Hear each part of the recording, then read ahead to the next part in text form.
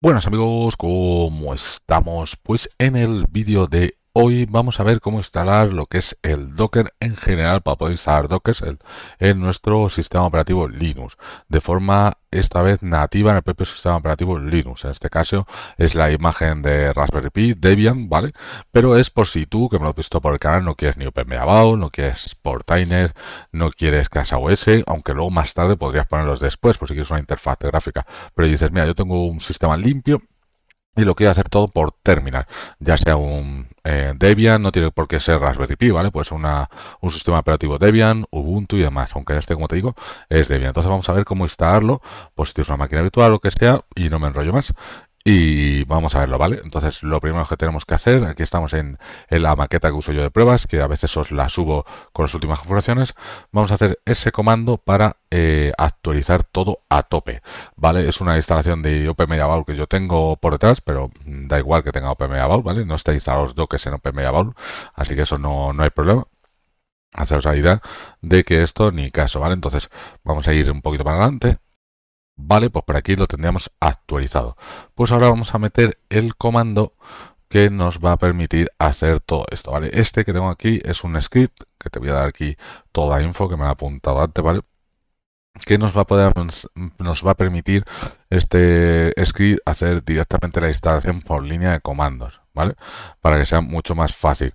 Eh, vale es de confianza y demás pero si no te fías pues hay otras formas de, hacerlo por su web y demás. Pero vamos que este hit eh, lo hace es decir no hay ningún problema en hacerlo ok puede tardar un poquito en instalarse, pero vamos, es decir, le daríamos aquí, instalaríamos y dejaríamos esto aquí haciendo. Eh, yo lo voy a cortar aquí un momento para que esto no tarde mucho, pero vamos, a ejecutar este script y esperamos a que termine.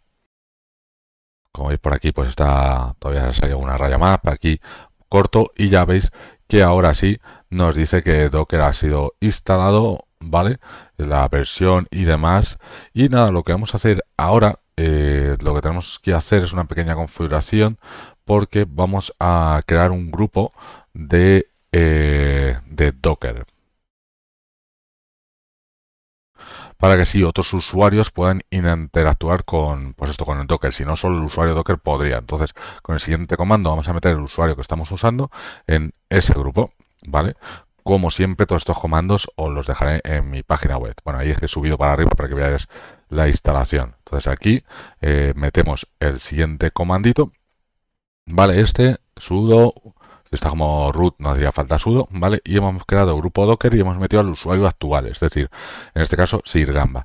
¿Qué tenemos que hacer ahora? Ahora tenemos que eh, salir, desloguearnos para que se apliquen esos cambios en nuestro perfil. Como no lo hemos hecho en nuestro propio perfil, tenemos que salirnos un momento ponemos logout, logout y entonces vamos a salirnos y tendremos que volver a entrar ya sea por PuTTY, por SSH o como tú lo estés haciendo.